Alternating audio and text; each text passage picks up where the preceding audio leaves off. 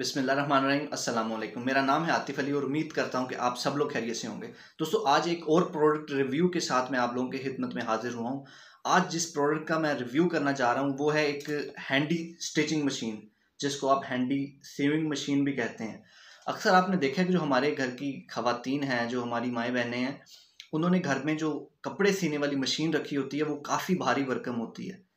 उसके साथ कपड़े सीने के के लिए आपको स्पेशल टाइम निकालना पड़ता है। आप एक जगह से दूसरी जगह मूव नहीं कर सकते अगर वो किसी ट्रॉली के ऊपर फिक्स्ड है। कुछ ऐसी मशीन्स भी होती हैं जो एक जगह से दूसरी जगह पे हम ले जा तो ज़रूर सकते हैं, लेकिन वो भारी होती हैं। ये जो मशीन है, ये इंटरनेट में हम काफ़ी टाइम से देख रहे थे, लेकिन मैंने आप मंगवाई है। और मैं आप लोगों को दिखाना चाहता हूँ कि किस तरह काम करती है, क्या क्वालिटी है। सो चलिए हमारी प्रोडक्ट को चेक करते हैं। जो बॉक्स है, उसके अंदर सबसे पहले आपको बबल रैपिंग के अंदर हमारी जो असल प्रोडक्ट है, जो मशीन है, वो नज़र आती है।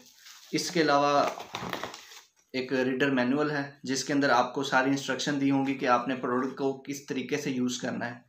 इसके अलावा एक पैकेट है, जिसके अंदर एक नीडल है, अगर आप लाइट के अंदर देख सकते हैं, जो एक तो मशीन के अंदर नीडल होगी और एक आपको स्पेयर नीडल दी गई है। अगर खुदा ना खास्ता किसी वजह से जो असल नीडल है वो टूट गई है तो आप इस नीडल को यूज़ कर सकते हैं। उसके अलावा एक हमें ये दो पेयर हैं बल्कि, फिरकी। ये इसके मिलते हैं इस मशीन के अंदर। आपने देखा होगा पी के मूवी के अंदर आमिर खान जो है वो कहते हैं कि कोई हमारी फिरकी ले रहा है। सो ये वो शायद फिरकी है जो मशीन के साथ हमें मिली है। सो बबल रैपिंग से हम अगर मशीन को रिमूव करते हैं तो आप देख सकते हैं कि मशीन के साथ ऑलरेडी एक फिरकी लगी हुई है वाइट कलर की। साथ एक निडल भी है। ये आई थिंक कपड़े वगैरह, उसको एक जगह पे स्टक करने के लिए है।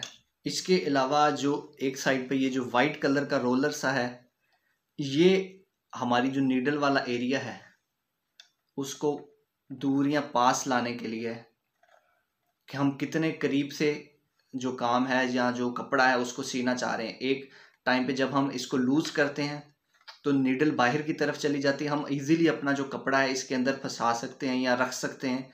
उसके बाद इसको वापस क्लोज करके हम सिलाई को शुरू कर सकते हैं।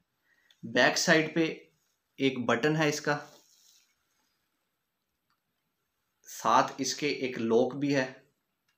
वो लोग बटन को एक जगह पे स्टक करने के लिए भी है उसको स्टॉप या आप कह सकते हैं कि एक जगह पे रोक सके ताकि इसकी मूवमेंट ना हो। अगर हम इसको ओपन करते हैं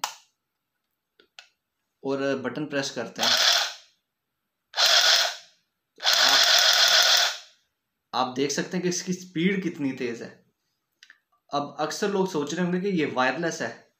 जी हाँ ये बिल्कुल वायरलेस है लेकिन एक बैटरी के साथ ये चलती है। सो so, बैटरीज का एरिया जो है वो भी मैं आप लोगों को दिखाना चाहता हूँ। इसकी एक बैक साइड है वहाँ पे बैटरीज होती हैं। नॉर्मल जो ट्रिपल ए साइज़ की कह सकते हैं या जो क्लॉक की बैटरी है वो जो सेल कह लें या आप बैटरी कह लें वो इसके अंदर यूज़ होती हैं। एक टाइम पे चार बैटरीज यूज़ होंगी। आप चाहें तो चार्जेबल भी रख सकते हैं इसके साथ। चाहें तो आप जो नॉर्मल बैटरीज यूज़ कर सकते हैं। जो क्लॉक की बैटरीज हैं वो हम यूज़ कर सकते हैं। सो so, देखने में प्रोडक्ट बहुत अच्छा है लाइट वेट है इजी टू यूज़ है स्पीड आपने देख ली है। बाकी अगर किसी ने प्रोडक्ट लेनी है तो वो ले के चेक कर सकता है। अंदाज डॉट पी के से मैंने ये प्रोडक्ट मंगवाई है। मैं उसका अगर लिंक है तो वो भी अटैच कर दूँगा। आप वहाँ से जाके इसको परचेज भी कर सकते हैं। आज के लिए बस इतना ही। अगली दफ़ा आपसे दोबारा मिलेंगे एक नई प्रोडक्ट के साथ एक नए रिव्यू के साथ। तब तक के लिए इजाज़त दीजिए। असलकम